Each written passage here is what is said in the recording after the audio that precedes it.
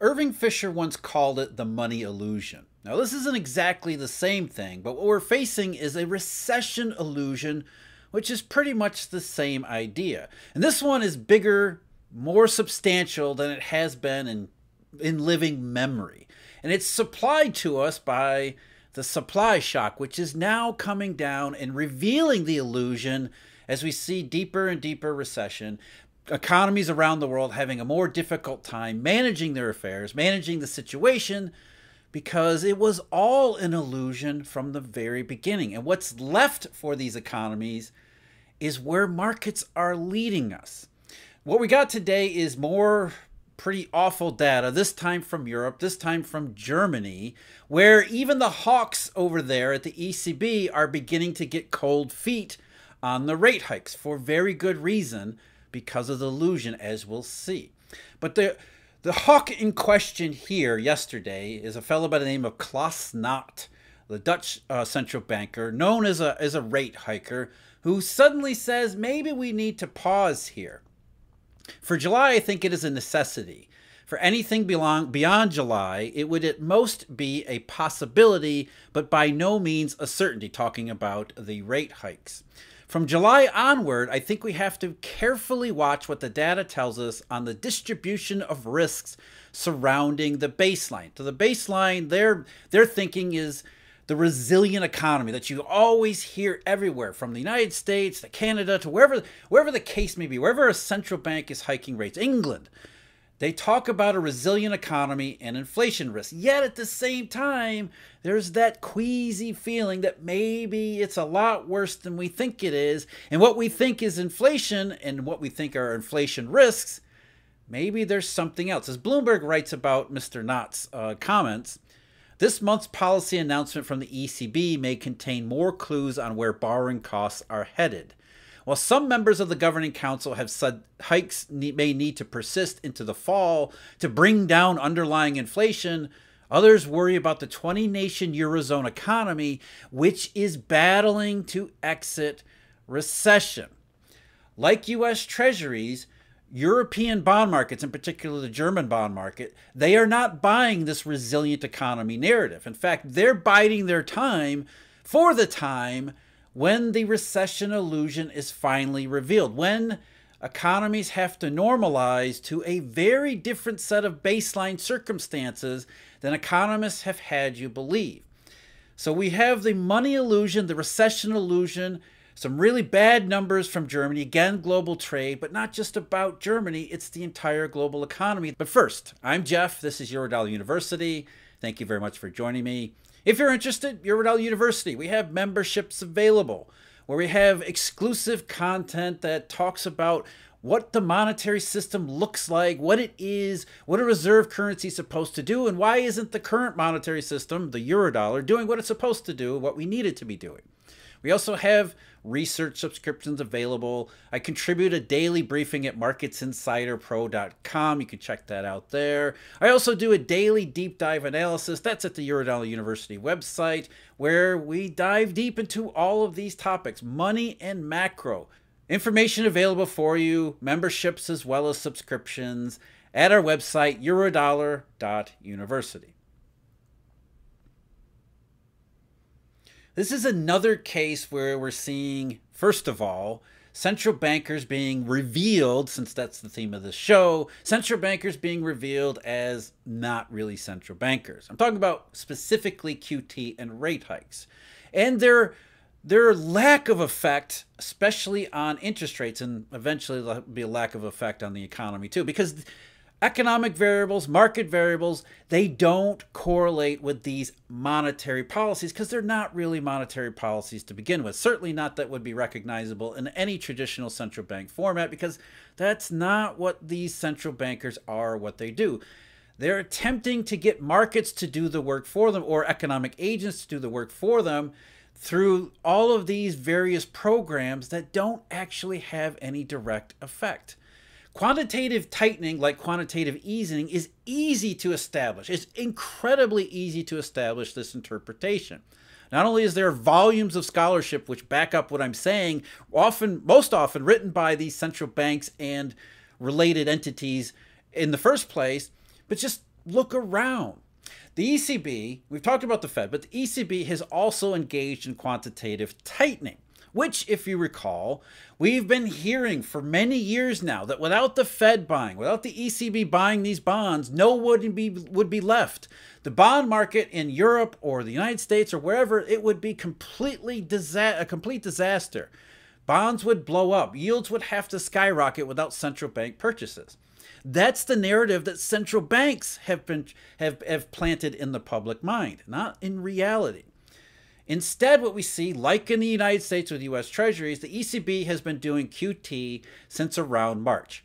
In the initial phase, up until the end of June, they were going to let 15 billion euros per month roll off. Since the end of June, they've now pledged to not reinvest any proceeds for their asset purchase program or QE.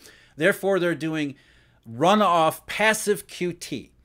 And it has had no effect on market rates. It, just like rate hikes have had no effect recently on market rates. You look at where German rates are today, they've basically gone nowhere since the start of QT. And they haven't gone anywhere or hardly anywhere really since the start of rate hikes. Rates remain incredibly low, which is a huge warning.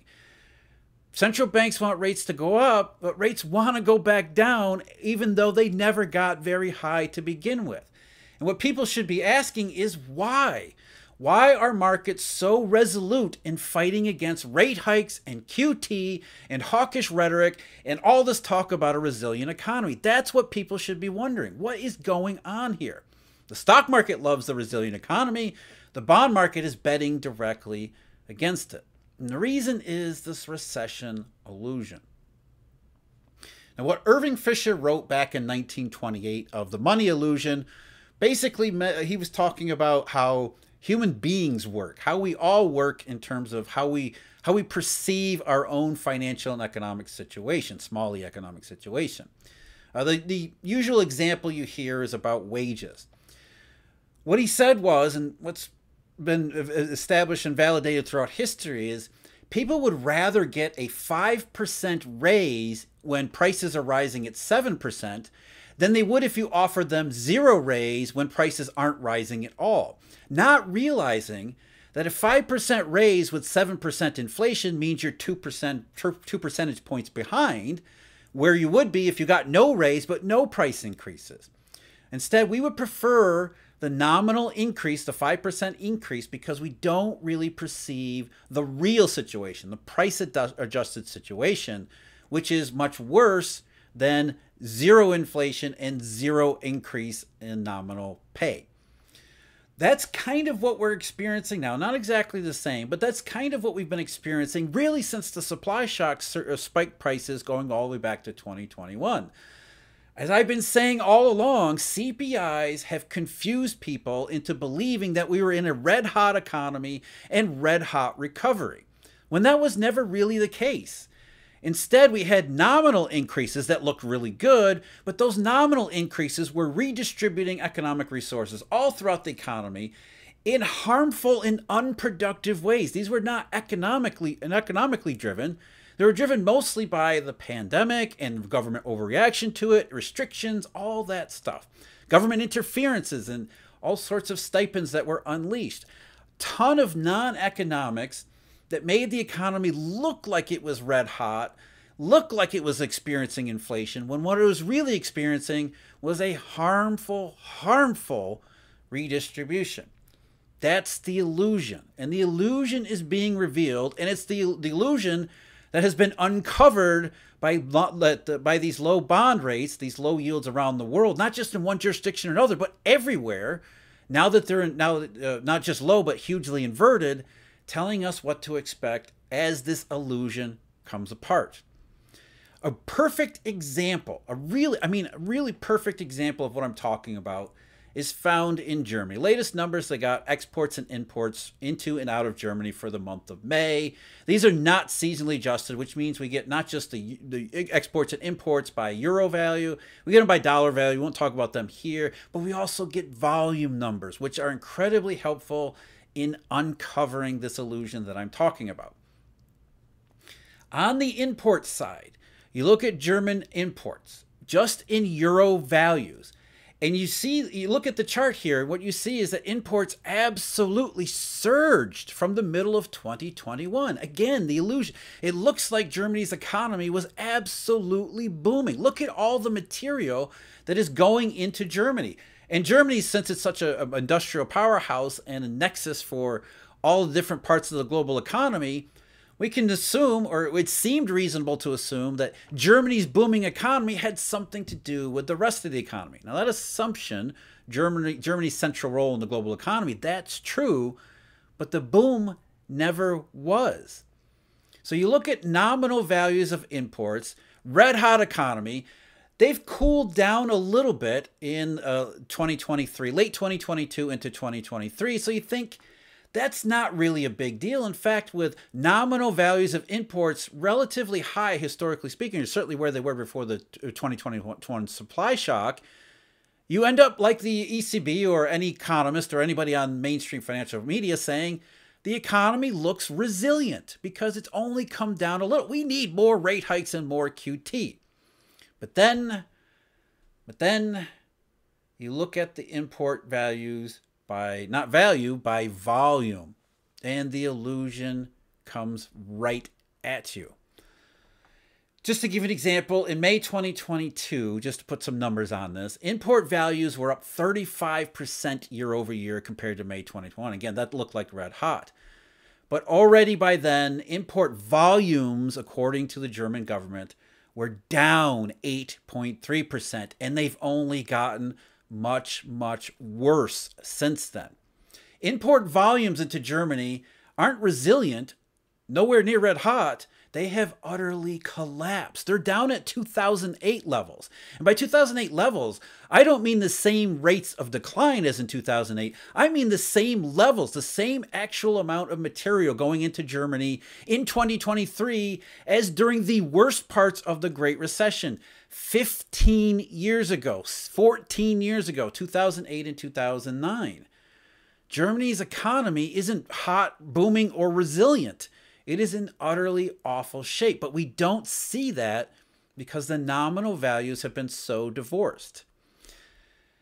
As I said, it it's not just about Germany. Germany is a central hub in the global trade economy. And who are Germany's two biggest customers? Their two biggest export markets are, well, up until last year, for seven years running, it was China. China had overtaken the United States for Germany's biggest partner title. However, given the Chinese economy struggles for the last couple years, which, as we'll see, were not really about the pandemic or the pandemic politics of zero COVID. The United States has reclaimed the crown just barely from the Chinese, not that it's any consolation to the Germans. Again, you see the exact same thing. You look at it by value, not volume, by value, and it looks like yeah, everything's the U.S. demand is really is really hot for German products, especially in 2021, 2022. It's cooled off only a little bit because, you know, just like Jay Powell says in the, in the United States for the Federal Reserve, he needs to do more rate hikes because the economy here is resilient. And by euro values of exports from Germany to to the United States, it seems like that's the case. But then once again, you pull the rug out from you you reveal the illusion by looking at the volume numbers and what you see is that volumes are much weaker than the values. US demand for German goods isn't nearly as robust as the values make it seem, and that volume in 2023 has fallen back to as low as it had been in 2017 or even 2015. So, Germany is exporting the amount of goods to the United States as it had five years ago, eight years ago, and in a couple cases, maybe even further back. That's not a robust economy for Germany or the United States. It shows the US economy is struggling too. We're paying more to get a lot less. That's not just a problem for us, it's also a problem for Germany because as we can't pay more for less and we continue to import less from Germany, there's less for Germany to do especially as fewer euros are coming in for the fewer amount of goods going out. China is China's the illusion for China is much much worse. Much much worse. Because what you see from the nominal values from uh, German exports into China, euro values, they start, I mean, you, you don't even see the lockdown. You don't really see the pandemic at all. It's as if China's economy is held up really, really well throughout 2021 into 2022. And there's some modest weakening, again, by nominal value in 2020, late 2022 into 2023. So, yeah, the reopening didn't do much, but gee, by God, it looks like China's demand for German goods has held up regardless. So, a little cooling off doesn't seem to be all that out of line. But then you put up you pull up the volume numbers and you think, "Holy crap. This is a completely different picture." Germany is yes, the, the euro values are relatively stable, but by volume, they have absolutely collapsed. That's consistent with the narrative we keep hearing about China's economy, if not even worse. Chinese demand for German goods has absolutely fallen off. How bad? It's fallen off to the point where it's back to where it was in 2010 over a decade ago. Germany is shipping its two largest customers far fewer goods than you would expect for a resilient economy that needs more effort from central banks, assuming central banks actually did something with their rate hikes in QT. So the Chinese, and not only do we see it in volume terms in China and the United States, what we also see is that in 2023, they're moving, accelerating to the downside in both both terms. Volumes continue to fall off, but now nominal values are coming down too, which means the recession is accelerating. At the same time, the illusion is being revealed because the economy, the global economy, not just in trade, we have to normalize to an equilibrium. And that equilibrium is not where values are values are going to go down to where the fundamental baseline is. The baseline that not the, baseline the ECB was talking about when they're talking about their their their the risk to the baseline that they see is inflation, maybe a little bit of recession. The true baseline, the true economic global baseline, is what we see in these volume statistics from Germany. It's not just about German exports or global trade. It's about the fact that we were under this CPI price illusion for several years, thinking that that was the fundamental basis of the economy, when in fact, it's much, much, much worse than you think, both long run as well as short run. So, why are markets completely ignoring central bank rate hikes and their QT programs? Look at the German statistics, they'll tell you the entire story. I'm Jeff. This is Eurodollar University. Thank you very much for joining me. As always, huge thank you, Eurodollar University subscribers, MarketsInsiderPro.com research subscribers, and always a huge sincere thank you to all our Eurodollar University members. Until next time, take care.